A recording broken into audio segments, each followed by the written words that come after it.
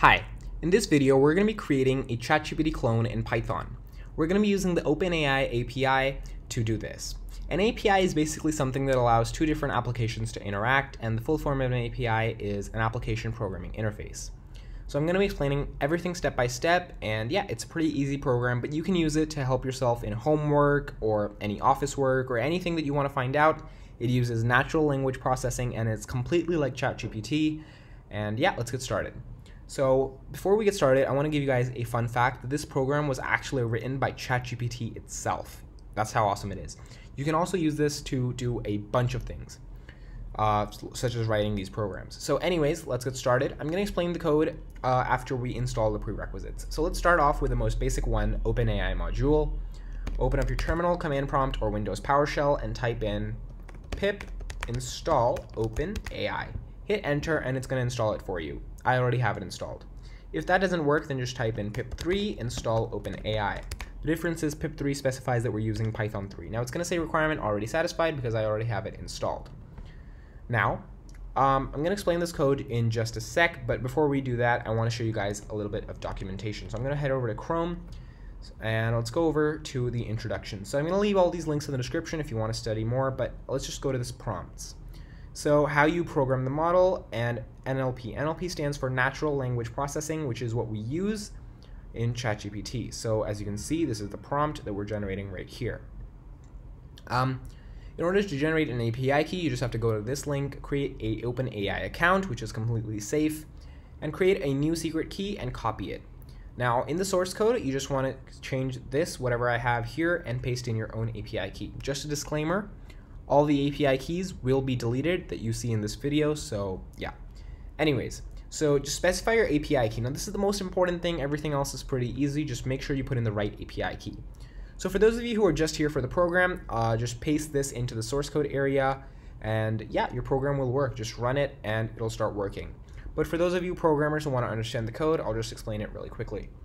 So set your OpenAI API key as an environment variable. So we just environment and then OpenAI API key. We specify it as the API key, which we imported um, from OpenAI.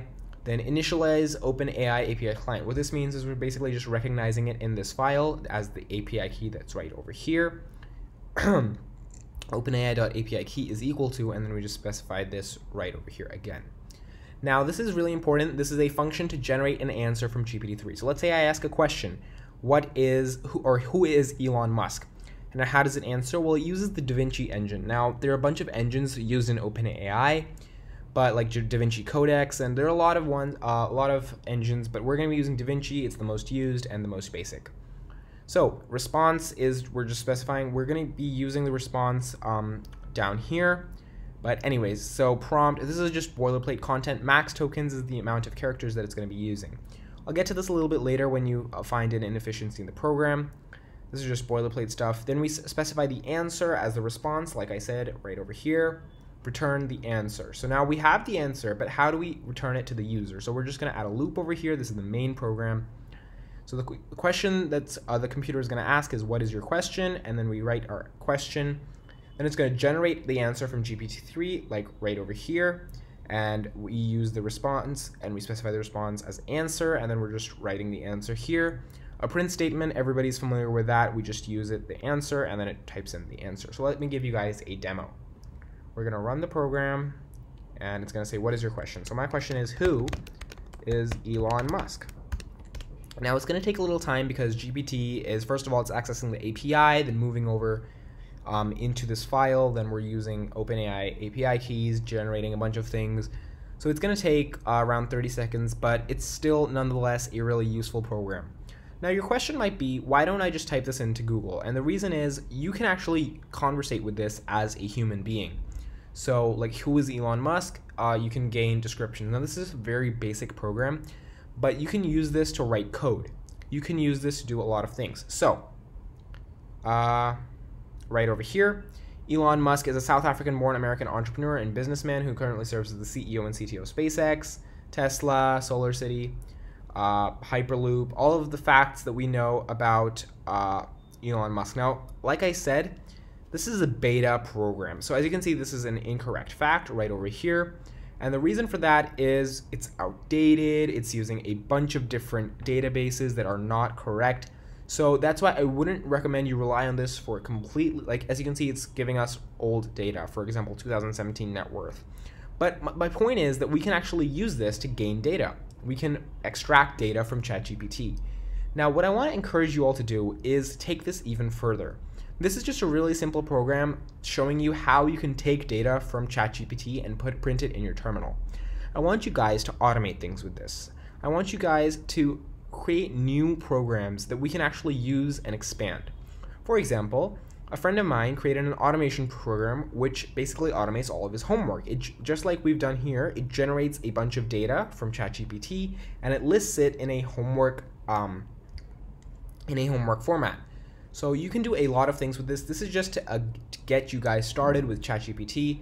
You're getting information from ChatGPT. So let's just try one more thing. What is uh, a square? You know what? What is a what is friction? All right, let's try this. Once again, we're gonna have to wait 15 to 20 seconds, but it's gonna, probably gonna give us a correct answer or somewhat correct answer. And uh, this is not hard coded, so that's the cool thing. It's an actual artificial intelligence. You know, instead of using Neuralink and all these different uh, machine learning technologies, you can actually start using ChatGPT directly, which is why this program is so useful. So I know it's slow, but it's still worth it. So let's just be patient and wait for the answer. Right, so now the reason it keeps on repeating the last statement, like I told you earlier, is because the max characters is 1024 and it has to complete that. But until then, it does give us, uh, so it's repeated all of this. So the force that resists the relative motion of two surfaces in contact with each other is friction. What is the coefficient of friction? What is the coefficient of static friction? What is the coefficient of kinetic friction? And then it just keeps on repeating that. So the answer is technically just um, until here, until here, this point but it's going to keep on repeating that because we have the max tokens is 1024. If we to that lower, it won't keep on repeating that. So it's really fun to experiment with. This is just to get you guys started with ChatGPT. I hope you guys enjoyed. The source code will be available in the description. Peace.